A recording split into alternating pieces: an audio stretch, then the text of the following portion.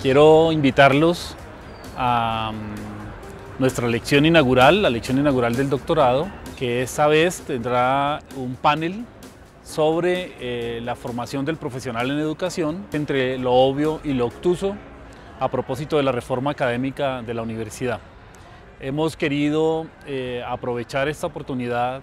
para debatir un tema de la más grande importancia en la historia de esta universidad y es debatir el carácter de formación de profesionales al cual nos vamos a ver abocados en los próximos años y quizás décadas.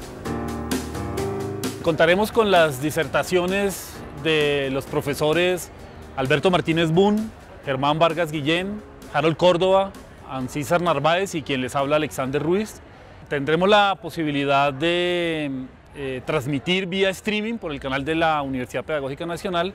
el panel eh, y esperemos que las personas que no puedan asistir el miércoles 15 eh, de febrero a las 4 de la tarde en el auditorio multipropósito puedan acceder a la transmisión.